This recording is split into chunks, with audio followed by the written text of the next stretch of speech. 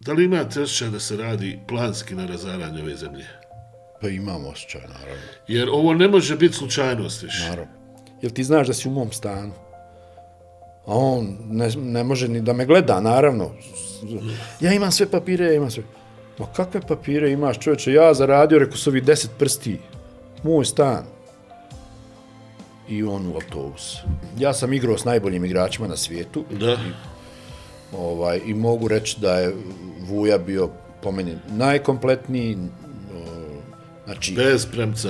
igra odbranu, igra napad, vuče polu kontru, motivator e, i samo je budala onako ovaj, I prznica. zna e tako ko ko krava kad da puno mlijeka. Pa on je u finalu u Madridu isključen, dobio crveni karton. sam. Ja sam po opredeljenju bosanac, tako sam se, ovaj, pa tamo rekli, nema ta rubrika. Žao mi je, ja sam, ja se tako, ovaj, Još jedan ima, ja se tako, ovaj, deklarišem i, i, i uvijek ću tako Svi biti. moji. A tad je DDR bio velesila sportska. Da bismo mi, mi smo tad sumnjali, ali niko nije imao, nije bilo ta tehnologija da se oni fiksaju, jel? U atletici, u svim sportovima.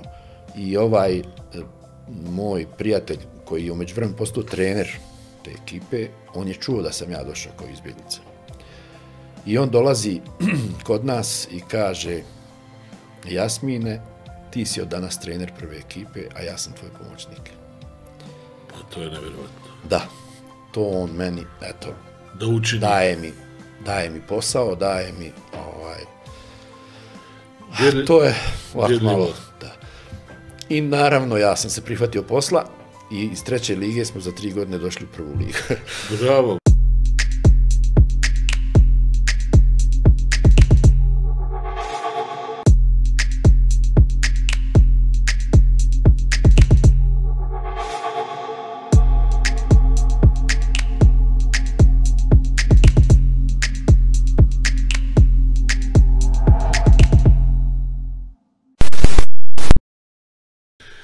Poštovane dame i gospodo, o, iskoristit ću ovu priliku da pozdravimo velikog šampiona Žarka Paspalje, da mu poželimo sve najbolje na putu ozdravljenja. Sa nama je danas isto jedan veliki šampion, pored nas je gospodin Mrkonja.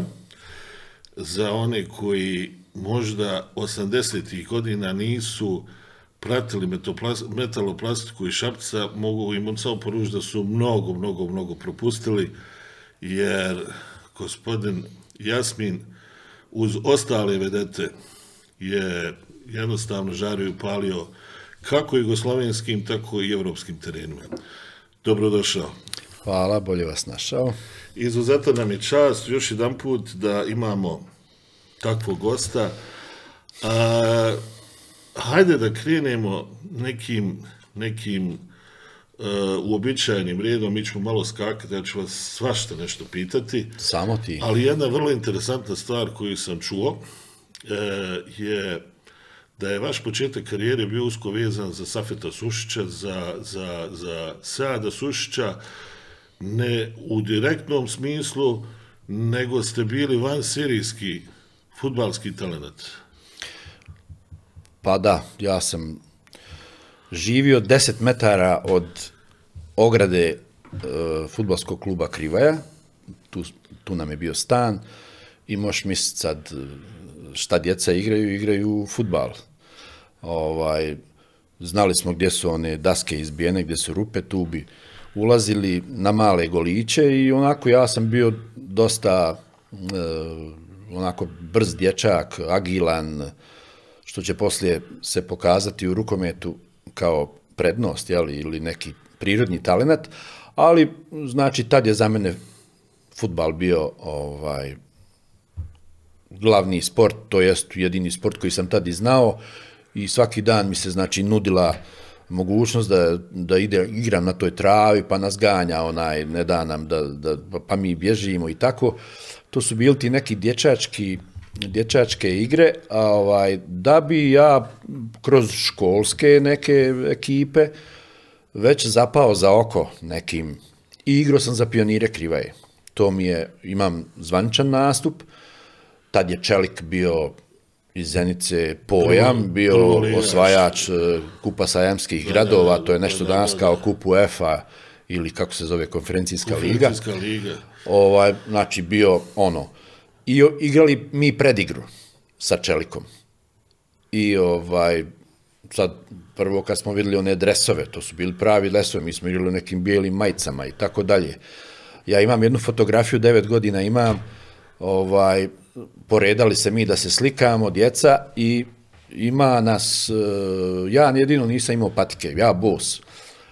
I kaže šta je bilo, pa ja nisam se žurio tamo da uđemo, nije bilo dovoljno patika i dok sam ja došao, to je sve bilo razgrabljeno i ja sam bos igrao. I vi ste I nije mi, nije mi to smetalo, ovaj, naprotiv, volio sam taj osjećaj da od trave i, i, ovaj, i kažem, da se vratim na, taj, na tu predigru što je onako, ovako, mogla, mogla da bude neki moj put u, u svijet e, futbala.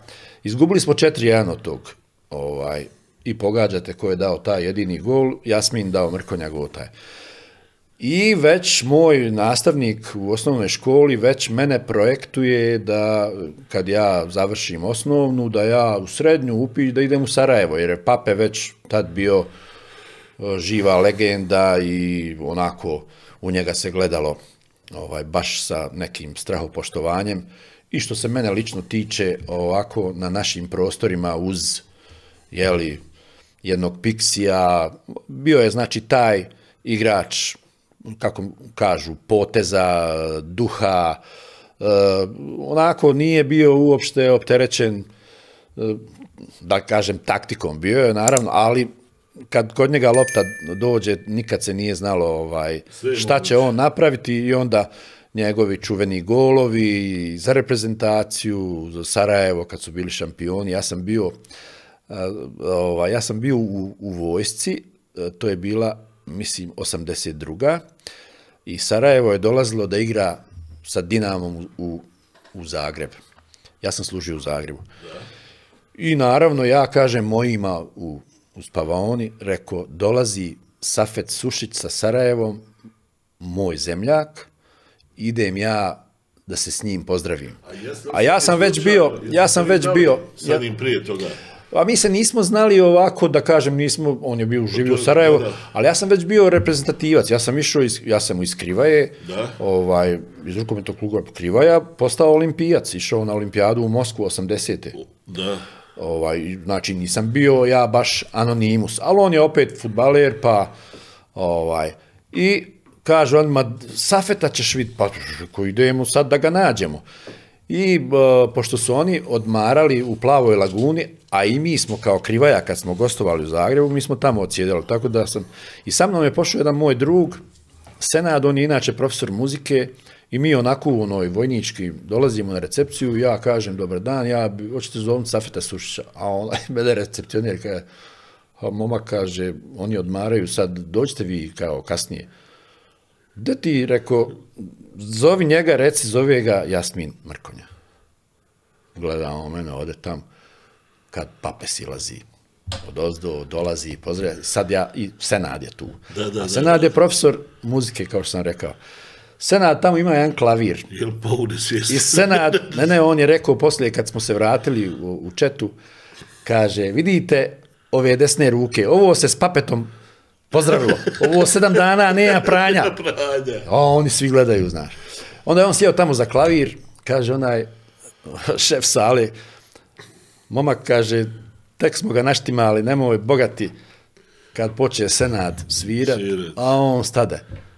Rekao, ja sam menadžer, možemo se dogovoriti petak, subota da sviramo ovdje, ovaj, možete sa mnom. Tako, malo smo Znači, se zezali. matirali ste na svim Da. mogućim poljima. I eto, bio je Pape i poslije smo išli naravno utakmicu. Sarajevo dobilo, mislim, 3-0 ili 3-1, on dao dva gola. O, obično kad krene. bio sam tada uh, neizmjerno ponosan, što je moj uh, sugrađanin, što je ovaj, eto, Sarajevo i ja.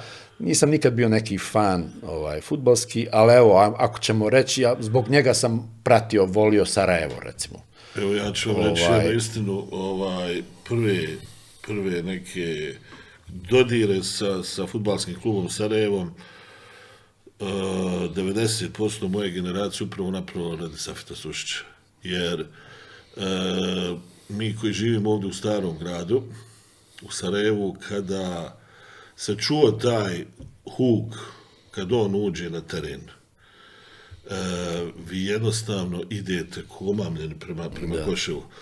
Tako da jednostavno pričate o Safetu, e, mogli bismo satima, ali jedna stvar koja me jako, jako interesuje, pošto mene interesuju pikanterija, to su opet stvari koje moraju znati ljudi koji su se kretali u tom društvu. E, vi dolazite opet u to doba Krivaja Zavicu, molim vas, samo približite nam šta je Krivaja u to doba bila kao rukometni klub. Pa Krivaja je bila, ajmo, ajmo prvo sam... reći, četiri puta vice šampion Jugoslavije. Takav I ti. ja sam bio sudjonikom te zadnje vice šampionske titule ovaj, i finala kupa Jugoslavije e, kao mlad igrač, bio sam već ono, mladoj reprezentaciji, to je negdje možda 78. 79. Ovaj, I tu sezonu smo imali bod prednosti nad Partizanom iz Bjelovara, ali zadnje kolo idemo njima. I bila je na TV utakmica, znači, ono, bilo je regularno sve, ajmo reći, mi nismo uspjeli, izgubili smo tri razlike. U sredu idemo u Niš da igramo ovaj finale Kupa Jugoslavije. Ali tu je već malo smo bili zabrinuti obzirom da se igra u Nišu, a finale Kupa, znači obično bi to trebalo biti jel, na nekom neutralnom terenu. Ovaj, I sudije iz Beograda, i ta Valčić, Valča i Stanojević, čuveni naši sudije, I ne mogu reći sad, imali smo, imali smo utakmicu, da smo, sami smo prosuli, imali smo tri razlike, negde tri minuta do kraja i loptu osvojili i onda smo brzopleto ovaj, odreagovali, helem utakmica završena neriješeno, igrali smo jedne produžetke, pa neriješeno i na u drugim produžetcima smo izgubili. I ja sad kad ljudi kažu kako je bilo prije, kako je danas, danas je puno teže, naravno, drugčije se ovaj, drugčije se sve radi. Finansiranje tad uopće nije bio problem. Znači, pripreme ljetne, zimske, oprema, mi smo im uvijek imali Adidas i Pumu opremu, jer je Krivoja imala o, svoje, ovaj, od jedna od najvećih tržišta je bilo u Americi, pa u Švedskoj, pa u Njemačkoj, i sad ne znam još o, tačno. Snimali uglavnom... sam jednu kratku digresiju, pošto ste vi emotivno vezani za taj kraj i pošto ste, ste neko ko je, je, je ono open-minded, ko što kažu amerikanci, kako to odjednom pravite najbolji namještaj na planeti, odjednom sve to stane i to postane jedna velika ruševna. Zadnji put kad da. sam bio u Zavidovićima, mene, mene je zabolilo. Da. Zabolilo me jer to od takvog giganta, svesti ga i isparčati ga na nekih par firmica koje ili rade ili ne rade, da ne ulazimo sad dalje, da li je to tendencijozno urađeno ili je stvarno nije bilo moguće da se nastavi to mm, neko... Ma vidi, ja od kako sam krenuo iz Zavidovića, a to je bilo 84. godine, kad sam prešao u Šabac. Da. Ja sam preko 30 godina van Zavidovića, da. ne, ne živim, znači, aktivno. Naravno, tu, mi je bila, tu su mi bili roditelji koji više nisu živi, brat jedan koji živi dan danas tu, a jedan živi u Njemačkoj dugo. Hoću da kažem, nisam baš bio... Ovaj, I ja sam, negdje čut nešto. Naravno, naravno, i pratim uvijek sve što je napisano i, i sad recimo znam dosta, ajmo reći, uh, pikanterija, je li, i, i ti stvari koje se ne objavljuju u javnosti. Umjesto samo da se nastavi, da se uvede nova tehnologija i nastavi i budeš opet, ovaj, mi da smo opet, učinili da tu više nema ništa. Uh, gledam neke stare američke filmove, pa ja još vidim one krivajne stolice tamo. Ozbiljno, i stolove, i kredence one, recimo. Kreva je u to doba bila najveći, je, je, najveći izvoznik namještaja u bivšoj Jugoslaviji, znači. Tako je. I montažne Toni, kuće su montažne kuće, znači sve što je bilo s- u vezi sa drvetom, tu su bili čuveni majstori krivajni Da. Pogoni koji jednostavno više ne postoje, ali nećemo sad više o tome pričati. U jednom trenutku dolazi metaloplastika po vas, pošto ste vi van serijski talent već, i vi kažete jednu fantastičnu stvar. Toliko vam je bilo lijepo u Zavidovićima da u tom trenutku kad vam dolazi metaloplastika koja je u tom dobu već bila etablirana i ona je polako sklapala tu ekipu. Ona je sklapala tad. Jeste, da, s tim. ali vi kažete jednu rečenicu vrlo interesantnu koja mi je ostala učimo, možda ćete se sjetiti toga. Meni je toliko lijepo ovdje u Zavidovićima, ne vidim razloga da bilo gdje idem. Jer je, novci, kažete, nisu bili problem, Nisu. ali vi ste htjeli da se sportski dokazujete. Prepostavljam, ili kako je to Pa, sad dalje išlo? Vi smo- dolazite, To je bila e, s- 80 prva, druga, dru, prva još druga, ne, ne, ne mogu sad tačno da kažem, ali ovo, ovo što je bitno, mi smo bili, tad moja generacija, viceprvaci, omladinski viceprvaci svijeta. Znači, u toj generaciji od ovih plastičara smo bili ja, Mirko Bašić, Veselin Vuković, Mile Isaković. Vuja je došao kasnije, on je mlađi, on je za onu drugu. I mi smo ovaj, tad već igrali Jugoslovensku ligu, svi ono, i stvarno smo bili ono klapa dobra i, i onda smo u finalu naj, igrali s Rusima i sjećam se, u Švedskoj je bilo to svjetsko prvenstvo, sve smo dobili utakmice, Čehe, ne znam, Mađare, Poljak, sve. I sad igramo finale s Rusima i dobijamo informaciju da je njihov kapiten Bjelov se prezivao kao onaj Bjelov, da, da. o, jedan, jedan fantastičan igrač, znači tad već negdje oko dva metra visok. Oni su njega izabrali kao e, vođu. I sad nama je to bilo ono jebote, taj mora da je vanzemaljac, kakvi smo mi poslije postali, evo, vanzemaljci.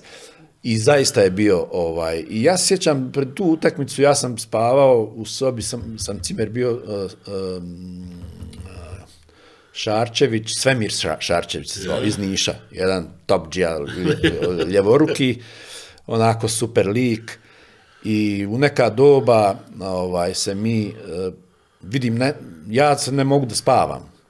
I on, rekao, Šaks, jel spavaš? Kaže, ne mogu da spavam. Razmišljamo o utakmici. Mi smo, znači, igrali u fin, eh, to, te utakmice u pred finale smo sve igrali u Švedskoj, a finale se igrali u Danskoj, u Kopenhagenu, u jednoj ogromnoj dvorani i tako sav taj neki mm, publicitet koji je išao uz to finale, e, nas je malo izbacio iz koloseka. Helem, mi smo izgubili od Rusa, mislim, četiri razlike, tu utakmicu, E, nismo pružili našu najbolju igru, što će se pokazati posl- poslije u seniorskom a, takmičenju kad smo i dobili a, na svjetskom prvenstvu prvu utakmicu, veoma važnu, a, a to su te generacije možda koji igrač da se Da, da. tu promijenio, ali to je to bilo. I tad smo i dobili, razbili 5-6 razlike i onda je tad krenuo naš put ovaj, kad smo postali svjetski prvaci, sedam utakmica smo igrali, tada je sedam smo dobili, a Ruse smo dobili ovaj, tada na prvoj utakmici, ali prije toga jako interesantno, ja jako cijenim mog trenera Zorana Živkovića, Tutu. I on je, ova, Jugoslavija, jedan period, mislim, osam godina nije uspjela da dobije Ruse. A Rusi su tad napravili ovaj, jednu ekipu dvometraša. I u Titogradu vi njih Ti- šibnete. Bravo, bravo. I on kaže, idemo mi, gdje god su oni, idemo mi da igramo. I stvarno, mic po mic, i taj trofej Jugoslavije u Titogradu, tadašnjem, današnjoj da, Podgorici, Podgorica, oprostite. bilo je, to je šesti mjesec, to je kraj sezone, već malo i na moru je, u, mislim da je u Tivtu bilo, jel? Da, da. Kupanje, ovo, ono, a i Rusi malo, vidim, izgorili, ovaj, došli. I mi smo nju tu ufatili, ovaj, dobijemo ih nešto, Znači, Dva razlike radio, ovako. Gulag. I mi skontamo da mi njih možemo dobiti. Ali to je jako bilo bitno. Kad smo mi došli u, u Švajcarsku na, na seniorsko svjetsko prvenstvo i igramo tu prvu utakmicu, ja se sjećam, to je bio mart mjesec, neka snježina je bila i avion sad treba da sleti u Cirih i da li će sletit kapetan tamo vamo i on sleće. Mo, kod nas, ja gledam, mi su svi utrtili snijeg i mi smo sletili. Zašto ovo kažem? Ovaj, I to je bio posljednji avion koji je sl- sletio taj dan. A Rusi su ovaj, isto taj dan trebali da slete, ali nisu mogli tu sletiti, nego su negde su ih poslali tamo, pa eto kao malo će se više i umoriti i tako. Helem, ovaj, mi smo njih tad dobili, pokazali, Da možemo, tad smo to mi- prvi put bilo, tako? tako je. I tad smo mi preuzeli od njih tu palicu, onda oni nas više dugo nisu mogli da dobiju. Poslije su nama pričali uh, Birtalan, ne znam, uh, kad smo se sreli kao treneri u Kataru, kaže, Jasmin, kaže, ja imam dva kofera puna medalja, ali to meni ništa ne znači. Jedino mi je značilo kad osvojimo medalju, neku, svjetsku, tad je, nije bilo evropsko prvenstvo, nažalost, nas, bilo je, bilo je ovaj, svjetsko prvenstvo i olimpijada. I kaže on, kad ja osvojim neku medalju na olimpijadi, na svjetskom prvenstvu, ja dobijem jednu zvjezdicu više, a samim tim dobijem jednu sobu više, dobijem stan ovaj, veći, dobijem platu veću. E to mi je, kaže, jedino bilo. Ovo medalje i ovo priznanje neka, nismo mi, kaže, od toga... Znači, oni su ovaj, za egzistenciju. i sjećam se, tad igrali smo, da li bilo četiri finale, pol, ne sjećam se. Uvijek kad dođemo u polufinale, četiri ekipe, i sad imaju dvije iz istočnog bloka i dvije iz zapadnog. Mi kažemo, mi ćemo 100% izvući ili Ruse, ili Rumune, ili Poljake. A obično je tako je bilo. I tako je bilo. A mi smo volili na zapad putovati, mi smo volili u Njemačku, hoteli, izlasci, Malo ma Kijev, sve ono. malo Magdeburg. Ovaj, I sjećam se u, da, u, u Magdeburg isto dolazimo. E, i tu ima jedna interesantna stvar, do- dobro si me podsjetio. Ovaj, igrao mi s Magdeburg, izvukli smo Magdeburg i sad neko... Je li u ta doba igrao onaj njihov čuveni Štefan Krečma? ili je bio, ne, ili kasnije, on je, on je kasnije sa došao. Štefanom sam se vidio na svjetskom prvenstvu 2015. u Kataru Da. i baš smo se lijepo Dobar ispozdravljali, super momak i dan danas je aktivan za neku televiziju, ga. radi, Da, da. mislim, tako dalje. I kažem, ovaj, neko je rekao, a tad je DDR bio velesila sportska, da bismo mi, mi smo tad sumnjali, ali niko nije imao, nije bilo ta tehnologija da se oni fiksaju, jel? u atletici, u svim sportovima. I kaže neko, ajmo mi, oni, oni garant nešto stavljaju ovaj, protivnicima u hranu, a i sami se fiksaju.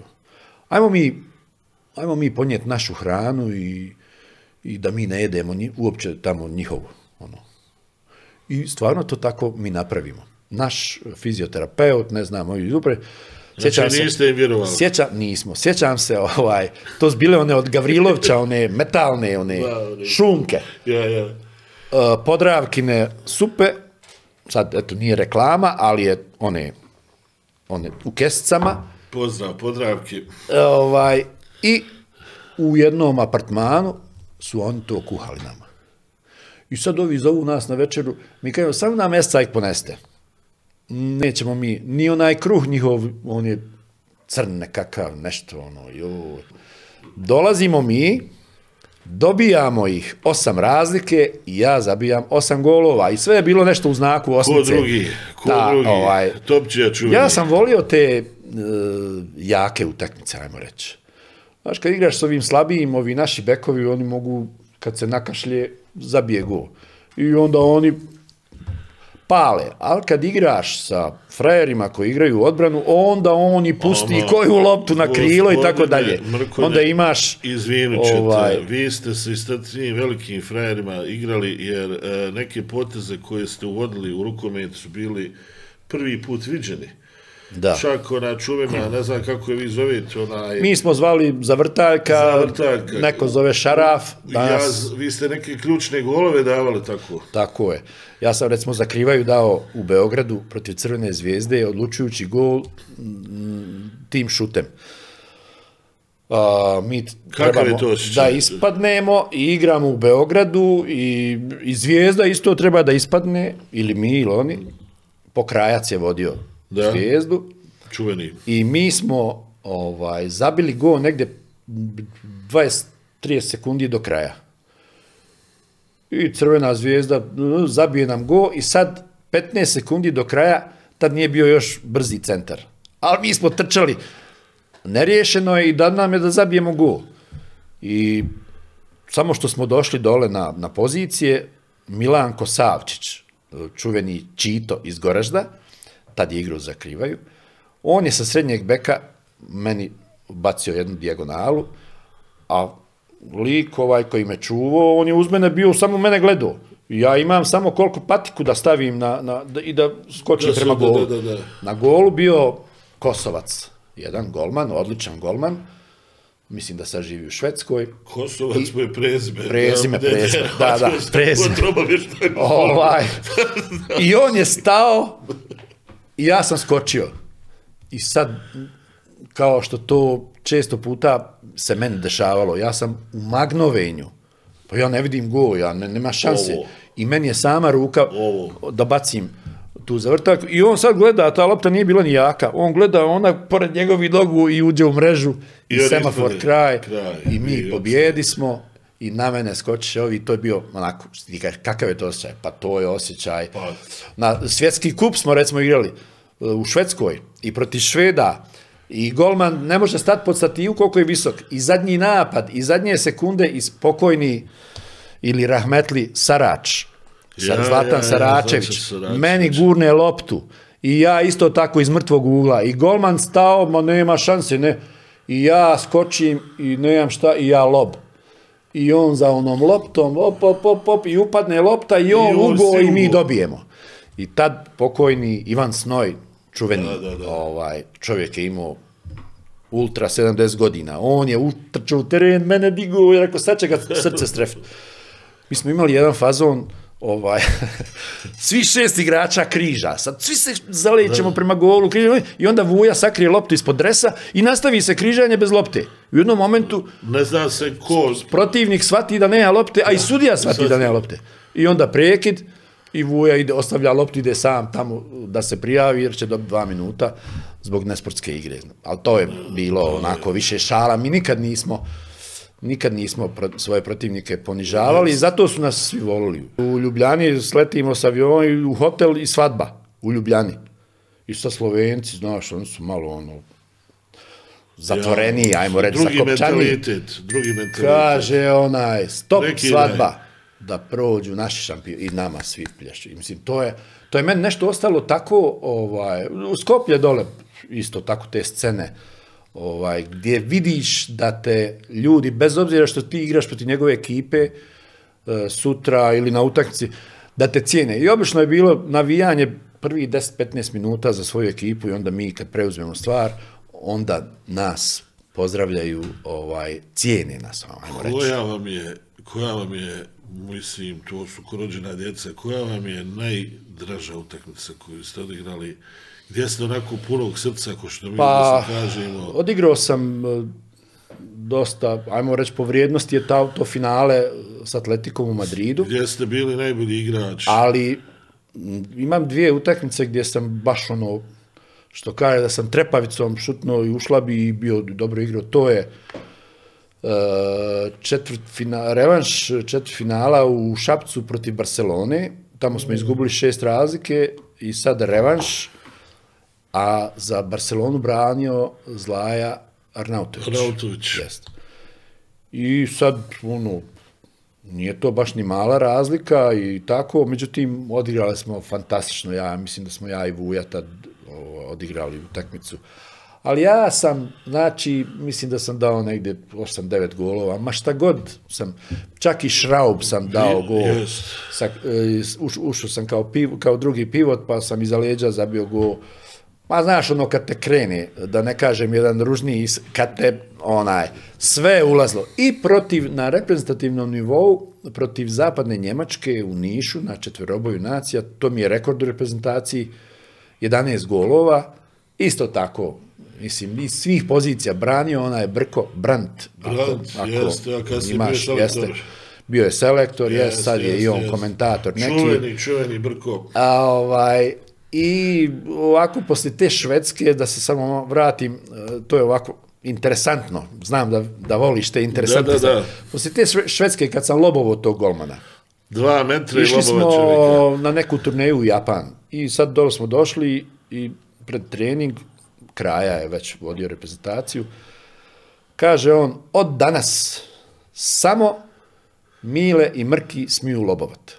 Ko on meni daje sad, pošto sam ja to obavio na taj način, ovaj, on meni čini tu čast, a kraja je bio to nema on s njim, Šale. da li će se nasmijat nekad Da, da, da. u deset dana, Baš bio onako tako- lik, jest. Pa dobro, Ovaj, ali eto, ali eto, ovaj, i onda u avionu smo se vraćali, pa smo malo tamo za šank išli i to, i, a on to, i čak je tad nama Šapčan, pošto smo mi vodili glavnu riječ, ali prišao, nije ništa ovaj, rekao, i tad sam mu ja rekao u avionu da ja više neću ovaj, igrati, da je vrijeme da ja malo idem vani, da pokušam da zaradim nešto, a on meni počeo pričati o planovima reprezentativnim, šta, kako. Ja kažem, rekao, ja sam tebi htio isto reći da ja od, od, od, od, od ljeka. Pa dobro, i naravno, ovaj, tad je u mladoj reprezentaciji već igrao Pipe Smajlagić, pa je on poslije mene ovaj, naslijedio, tako da nije to bio, da kažemo, igrački, nije se puno izgubilo. Pipe je poslije postao, ovaj, doduše sa Hrvatskom, a ovaj, osvojio najveće, najveće uspjehe. Ovaj, I tako, to je, to je ovako jedna isto meni draga, drago priznanje, evo, usmeno od danas, Mrki i Mile samo smiju lobovat. Vi u tom trenutku saopštavate da želite da idete, tada ste htjeli u Španiju, koliko Tako ja je. znam, i bilo je dogovoreno I sve. imao sam predugovor, jeste. I šta bi onda... I, I sad sam u Šapcu, ono, još imam par dana da, da, da sredim papirologije neke i tako dalje. I zovu Italijani. I sad prvo ne razumijem ništa, ali vidim, razumijem da želi da razgovara o nekom angažmanu, o nešto. Gdje će Italija, rekao, šta? Ja kažem, ovaj, ajde sutra, pa ću ja dovesti mog prijatelja koji govori italijanski, pa, Da, da. pa da, da vidimo šta je. I stvarno tako, i eto, pa ja kažem, rekao, znate vi da sam ja svjetski prvak? Pa kaže, sve mi znamo, samo vi dođite. Ajde dođite, ajde dođite da vidite naš klub, da vidite. Je vam bilo Ovaj. malo onako čudno? Pa ja kažem- I ovaki onaki, može biti svašta. Ja kažem ovome mom drugu, rekao, ma hajmo, šta će nam, imali avion u ponedeljak, pa nazad u nedelju. Idemo sedam dana kupat se, a to je na moru bilo. Da. Da bi ja poslije spoznao da je to jedna rukometna sredina, da je tu igrao pokojni Pavle Jurina, moj drug iz reprezentacije, e, ovaj, i da, smo, da su imali određene rezultate i naravno i sa mnom igrali smo ovaj, evropske kupove e, i to su mi tri godine recimo ona je fantastično. I e, kad je bilo oko ugovora, sad napravili su oni feštu, a prije toga u hotelu gdje smo bili smješteni, to je od gazde tog hotela. I ja njega samo vidim, on meni, e, jel sve u redu, sve u redu. Pa kad ćemo, ma nema, predsjednik je otišao na glečere na skijanje. A to je bila taktika, poslije sam ja to skonto da je to bila taktika, ovaj, da zadnji dan napravimo taj sastanak i da oni tebe kao priti koliko uza mogu, zid, ja, ja, tako ja. je. I, I sad, ajde, zadnji dan je to, sofra je velika i sve, pored mora, to, šampanjac, sve. Kaže ovaj predsjednik, uzima riječ, eto, mi smo mali klub, mi ako možemo, ja kažem ovom mom drugu, da reci, pitaj ga, rekao, jes, jel, s kim sam ja razgovarao? Pa, ovaj, dobro, sa mnom ste razgovarali, ali, znaš, a ja, pošto imam sad taj predugovor u Španiji, i to sam u Španiji, ono, super igrao i sa Da, da, reprezentacijom i sa Šapcom, ja sam tamo i poznat i sve. Ma šta mene briga, za- rekao, zahvalim se na gostoprinstvu, rekao, ovo je neozbiljno i rekao, ja ću vam pomoći da nađete nekog, ali rekao, ne, ne. ma ne, to mi, Helem, oni su pokušali da, da smanje. Italijani, to tako je. On, su- poslije sam ja vidio kad bi, Italijani. tad je bila lira. On jednu liru kad ti Ja. čapne, e, on je taj dan uspješan. I da, nazovem ja suprugu, ja kažem, ja potpisam. Pa ka? Pa rekao, evo sve što, što smo dogovorili. Još ja, kad smo razgovarali, stavio veću cifru nego što u Španiji, da i odbijem, da, šta ćem? Rekao, ja potpisam. I poslije će se ispostaviti, to su bile jedne od tri najljepših i rukometnih ovaj godina i, i Italija kao zemlja za živjeti i, i, i, sve ono što ide uz to. Tamo nam se o, rodila Jasmina Da. o, u Italiji, ali u stvari začeta, ali nismo htjeli da se rodi u, Italiji, nego smo išli ovaj, u Šabac i tamo se, Jasmina se rodila u Šapcu, a Haris se rodi u Zenici. U Haris Zeničak. jeste. Zeličak. E, recite mi sada, znači, završila se ta divna epizoda u Italiji, šta dalje, šta se dalje dešava s vama? U kom pravcu idemo? Pa, ja sam se vratio, meni je više bilo dosta i rukometa i pečalbe i aj reko malo da sredim život i kupimo mi kuću, lokal, supruga počela raditi u domu zdravlja, eto. I sad reko malo da uživam. Jednu godinu neću ništa raditi, Da, da. jednostavno hoću malo da... I to je bilo negdje uh, 89. mislim tako. Ovaj, I već počinju ona previranja i tako. Da bi već to kulminiralo, a ja bio sa jednim drugom mojim, sam imao taj kafić i onda on kaže, ja, on je otišao u Australiju da živi, kaže, ja idem, evo, nudim tebi, naravno, prvom i naravno ja sam uzo, uzo, renovirao čitav lokal, helem i taman počeo rad i počinju sad previranja. Slovenija, Hrvatska. I naravno, e, prvo mi je bilo da mi, da mi djeca ne, ne, ne, ne, ne osjete ispaljeni metak, e, ne daj Bože, granatu, nešto. I onda smo ih smjestili u, imao sam neku sreću, tamo neke prijatelje, na Brač. Da, da, da, da, da. Imali su čak e, u hotelu jednu sobu svoju. Kaže, ima soba sa, sa WC-om. To meni bilo nepojmljivo, ali eto.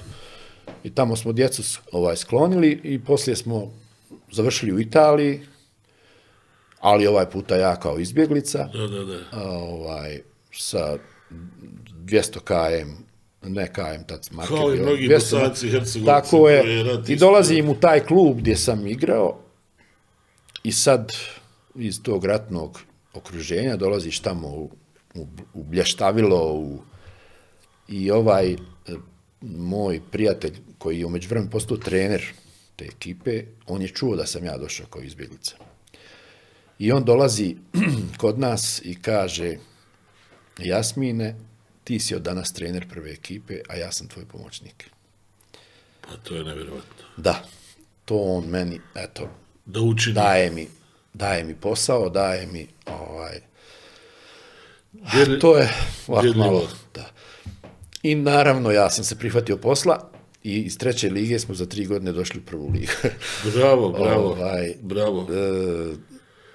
I, Znači, I taj period je bio, naravno, puno, ona je bio puno ljepši kao igrač, a ovo je bilo onako, djeca e, odrastaju u sredini koja nije njihova. Mi smo imali dobar status supruga kao ljekar, ona je odmah našla se posao, govori strane jezike, ovaj, ja svoj posao, tako da nismo bili klasične izbjeglice, naravno, ali ne možeš ti biti ok, a tamo ovaj, se desa, dešava što se dešava i ovaj, tu smo bili, eto, 96. čim je stao rat, moja supruga, aj da se vratimo, gdje ćeš se vratiti, aj da se, ja sam već bio ono otkovo što se kaže. A ja sam čitav život bio van kuće, meni to nije Da, bio da, da. problem. Ma ne, ajde, ona je onako mm, optimista veliki. Ima Bosna šansu, tamo, vamo. Mislite li, samo, samo jedno pitanje, to, to postavljam mnogima, i sam sam, u, ajde, manje više vjerovao da je taj entuzijazam nakon rata bio daleko veći nego danas. Pa da. Mi smo vjerovali da će ova država krenuti u pravom pravcu. Nekako je to... Pa Znali smo sve srušeno. Pa svi smo mislim da su izigrana očekivanja ljudi, Totalno. ovaj, da smo da- prevareni, da, kako bi vam rekao, Prevareni u kom smislu? To Pa prevareni-. Slobodno, molim vas. mi smo navikli, mi smo navikli da živimo Od prije, rada. prije, prije ovoga rata, navikli smo da živimo uh, sa komšijama, sa poznanicima, s prijateljima. Ja, ja stvarno Naravno. nisam znao, znao sam ko se kako zove, ali da mi bude misao da je on kršćanin ili musliman ili pravoslavac, to nikad. I to meni toliko sada smeta. A to što kad sam rekao da smo prevareni je, evo to.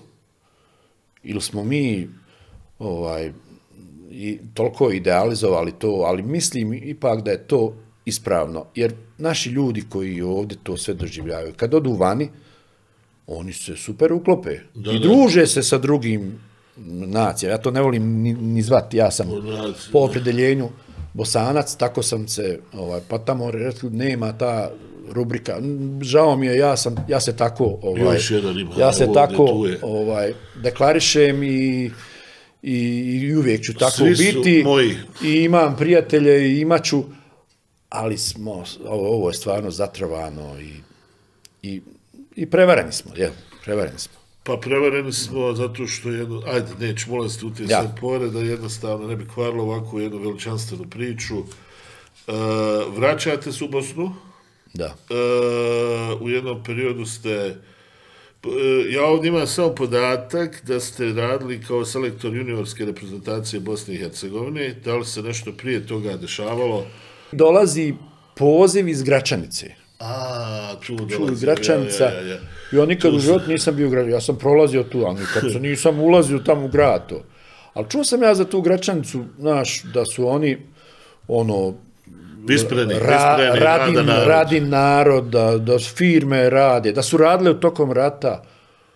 I kao, eto, mi smo čuli da ste vi se vratili, bili vi, ma, ko su, šta su? Helem, ja odem u tu Gračanicu da, na razgovor.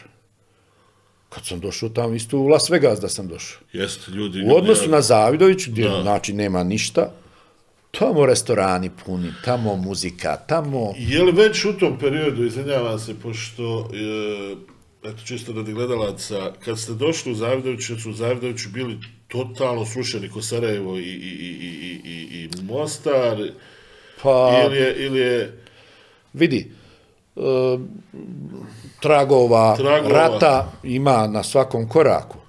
Ovaj, Zavidović je bio karakterističan jer je imao jednu dugačku liniju fronta da, i u jednom momentu rata e, se ratovalo svak sa svakim. da, da, da, koji... početku je ono HVO bio sa armijom, Pa pa, ali onda se i HVO odvojio, pa se ratovalo i sa HVO. Ovaj, tako da, e, razaranja, nije ko sad u Rusiji, recimo, u, u Ukrajini, pardon, Ukrajini. ovaj, ali na, na svakom Jasno, jasno. fasade izbušene, jasno, ne znam, bilo je i gradski borbi i tako, mislim, ovaj, e, ali je uništen duh i uništen je život od čega su ljudi živjeli, a to je posao, a to su firme, a to su ljudi koji su otišli, koji I su mislim napustili. da se do dan danas još Znači, nismo poravili. Pa ne, mislim, taj projekat je očito bio taj da se još više to Razvali. i, podijeli, razvali i i podijeli, podijeli. Jasno i dosta su uspjeli, nažalost, Jasno, dosta su jasno. uspjeli. Gračanca, da, Ja, i... Gračanca i tu se mi dogovorimo, uz glavušu jednu teleću, ovaj, Kako drugačije? pa taj jedan prvaci uz bivši, glavušu ide to. bivši, Ide on glavuša. je bio bivši igrač tamo. Gračance, umeđu vremenu je čovjek zajmo i otvorio neki motel, tu sam ja živio jedno vrijeme Ja. i bio je veliki um, gastronom, volio domaćin, život. I domaćin. sjećam se kad smo tu taj dogovor postigli da je ta bila teleća glavuša. Ja. Ovaj, I I ja opet ženi kažem, koji za Italiju? Rekao, ja ostajem ovdje, ja sam se dogovorio s njima. Pa šta ću, nemam tamo poslane, ajde. A ona, ona, je li ona naša neki... A ona odmah je, naravno, došla, Da li je već ona unaprijed imala neki e, Ne, posao? ne, ne, mi smo- mi ne- smo bili- Falilo je ljekara. pa naravno da je falilo. Ovaj, mi smo bili još Ali je pa tek smo se vratili. Ja. Ovaj, I naravno, posle, kad sam se ja malo tu sredio, dolaze ona, dolaze djeca, i da bi ja ostao tu u toj Gračanci 14 godina, što se tiče lične karte i i, Pa vi i efektivno živ, Znači, život, pa da, pa vi ste ovaj, gore. napravili kuću Bravo. i tako. I kad su nam djeca ovaj, završila srednje škole, onda mi kažemo, ajmo mi za njima u Sarajevo, da im pomognemo da ovaj, prvo Haris, pa onda Da, da. Jasmina i onda smo se preselili u Sarajevo, pa smo tu živjeli 5-6 godina, ma nema gdje nismo živjeli, išli u Katar, ona radila, ja radio, u Emirate, ona radila, ja radio.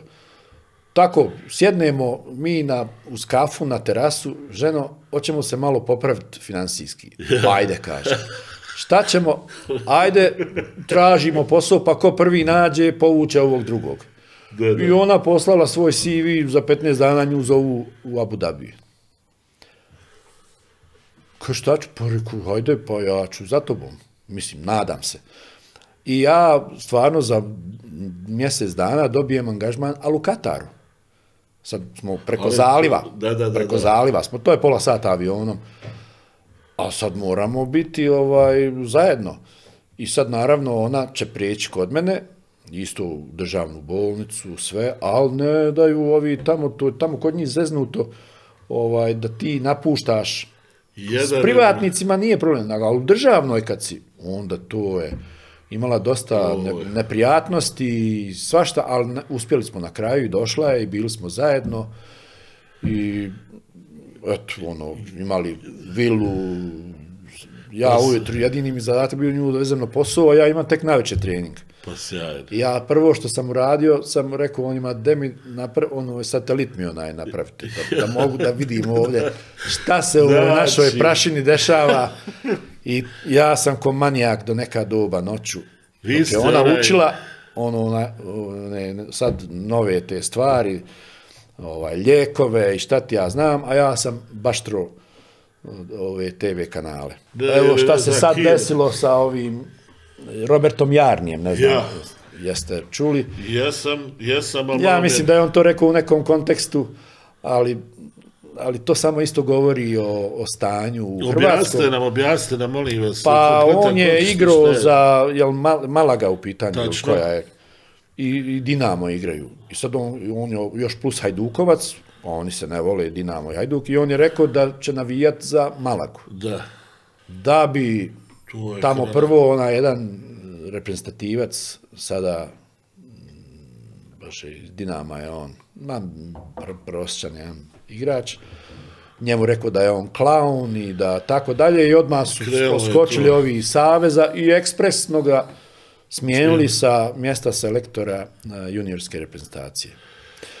A, ovaj, Hrvati- hoću da kažem, to je samo odraz stanja u, u društvu u Hrvatskoj, gdje, gdje Zatrovano malo mislite. to jako naglašeno, Dobro, previše i, i, naglašeno. i mentaliteti su drugačiji. Pa naravno, I, i, pogledi Ovaj, su drugačiji. Nek svako moglo je tu radi. biti neki ukor, nešto, Jeste, ajmo reći, ali ja gdje ćeš ti čovjek u legendi reći da je on klaun, prvo ti mali Tačno. šmrljo koji nisi ništa osvojio, igraš u tom Dinamu i ko si, šta si ti da, što kaže, moraš ustat kad govoriš u takvom jednoj veličini. Tačno. Robert Jarni, Jobe, svi znaju. Jadni, Ovaj, čuveni, čuveni Robert Jadni. Ali eto, Idemo dalje. Idemo. Idemo dalje. Recite mi, znači, došla svijest da ste obišli, gdje vam je bilo najljepše? u Italiji mi je bilo najljepše. Što? Mislim, pa. Je vam mentalitet italijanski? Mi italijanski smo Tako je. vrlo, vrlo bliski. Oni vole pojest, Ja. vole popit, Ja. vole muziku i glavna ti je priča kad se sretneš u dani, e, naveče, šta će se sutra kuhat? Ko za, ko za manđamo domani. domani. E. I to je glavna priča. Inače, što se tiče naobrazbe neke ovako malo šire, oni su tu tanki. Kad mi igramo, recimo, pa moja žena, pa ja, pa igramo one društvene igre. Pa kaže, pa kako vi to sve znate? Prvo to kod nas u osnovnoj školi se uči pojmovi neki, ne znam, geografski, opšti. Oni su tu tankosava, stvarno. Ali zato da spare boje, O, to je već... da već- šta će da jedu, kako će Oni da... žive za to. Eto, Oni to je. žive za to, I za to je jedan gradić na moru, Da. ovaj, mediteranski grad, znači zima je, ajmo reći zima, I ne to je praktično. 11. 12. i prvi mjesec malo, kad puhne bura, ovo ono, znači ja igrao tenis, dok me nije koljeno ovo zeza, počelo zezat, preko čitave godine sam mogu igrati tenis. Društvo, što kažeš, znači, jako su nama slični, vole, vole pojest, vole se družit, vole izlazit, vole garderobu, tako, laganini, leđero, što kažu oni. Odlično. I to je neka, ajmo reći, još to je jug, malo, sjevernjaci su malo ipak drugčiji, oni malo više oko posla ovaj, se zanimaju, a ovi samo Ima, ima tenzija tu veliki. pjačere, Ja, što kažu, pjač- pjačere, ja. ovaj, oni uživaju i, i klima je ta takva da, da znaš, da te tjera Uglavnom, da... vama je bilo prelijepo, Prelijepo. tamo, to je ključna Eto. stvar. E, hajde sad malo da vas pitam iz faha. Znači, igrali ste sa najvećim imenima rukometa u svoje doba, pa bi ja vas sad zamolio u svoje doba, kada bi se trebali izdvojiti, e, hajde kažem, e, pred raspad Jugoslavije, te 80. godine u kojima ste vi dominirali, recite mi e, za koga bi rekli da je najbolji rukometaš u to doba bio? Najkompletniji. Najkompletniji. Pa da, dobro si, dobro si rekao da to to Jer doba... imamo, imamo etape. pa Teško ću je, ja, evo, Jer pro, i proglasili su Maradonu, proglasili su Pele, ali pitanje je kako bi oni danas sa onim, sa onom fizičkom spremom, kako bi se danas nosili s ovim hrtovima koji trče Oru, oru. 90 minuta, da. Ali dobro si rekao u to doba. I u to doba, po meni, ja sam igrao s najboljim igračima na svijetu, Da. Ovaj, I mogu reći da je Vuja bio po meni najkompletniji, znači Bez premca. igra odbranu, igra napad, vuče polukontru, motivator e, i samo je budala onako ovaj, I prznica. zna, e tako, ko, ko krava kad da puno mlijeka. Pa on je u finalu u Madridu isključen, dobio crveni Gledao sam, karton. Gledao sam sve to. On je, To je- ko fol nešto zalijepilo mu se ljepilo, da, a da. Sudiji je nešto aplaudirao Mislim da ima pre, prejake ovaj. i dobio je Ja. crveni i tako znao je, znao je, ja njemu kad ti izbudala stvarno, mislim, ono, od, napraviš od, od, od nešto super, ti napraviš da te, da te ljudi pljuju, da, to postaje već degutantno, pa kao trener e, Da. imao je tih ispada i u Španiji i tako, ali kao igrač, mislim ja, ljudi nekad e, često, ne nekad, nego često ne mogu da odvoje simpatije od objektivne stvarnosti i situacije. Znači, e, igrački je on bio top. Dobro. Znači, sad da ne ponavljam, igra u oba smjera, zabija, e, asistira. Ja i on smo se znali, ja kad krene od Mileta lopta, ja sam već krenuo, on skače, on mene ne gleda, on meni pušta loptu, na njega se mora izaći, tu, tu, ovaj. Vi za leđa oliječete. i- Mada se često puta nismo slagali ovako ovaj, u životu Znači, težak i, je. i dan danas, ma nije on težak, nego ne znam koju bi sad tu, ovaj, zadnji put smo evo imali prošle godine u Doboju na turniru šampiona, pozvali su nas organizatori tu zlatnu generaciju, bili smo gosti i svi smo se, boga mi, skupili, osim pokojnih Portnera i Sarača, i da li je neko još fali, uglavnom bili smo svi. I sad ja imam uh, jedan, jedan, jednu ranu, da kažemo, otvorenu i dan danas, je to što sam, uh, što su meni ukrali stan u Šapcu. Mislim, uz, uzao mi, ušao je saigrač jedan moj, koji se zove Vladan, Vladica Spasojević, bio je Miletova rezerva, znači bio neki tako prosječan igrač, a to bio je i u, u tom ratu je on postao, da li bio predsjednik, da. da li direktor kluba i tamo su moj potpis neki falsifikovali. Uglavnom on je mene prijavio, a mi u izbjeglištu, da ja ne plaćam stanarinu. I naravno odrade sa sudijama tamo da meni oduzmu stan.